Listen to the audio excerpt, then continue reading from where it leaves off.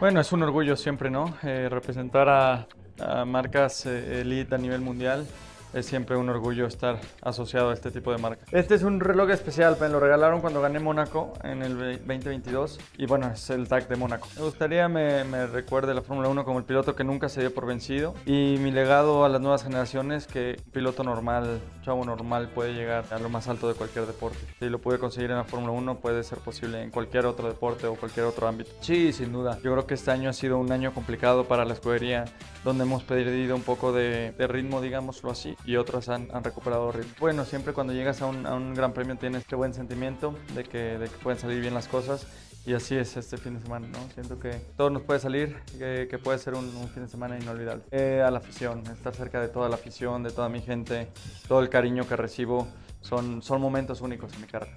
Me, me encantaría, este, creo que se ha formado demasiada afición, creo que para México es importante también tener representantes a nivel mundial y, y nada, me encantaría más que pronto tengamos a, a otro piloto, ¿no? Yo me acuerdo cuando llegué a Fórmula 1 pasaron 30 años y espero eso no pase una vez que ya no está acá. Eh, quizás con amigos o así, este, ya que no entre en el Fórmula 1, este, puede ser una carrera, ¿no? Con amigos, eh, divertida.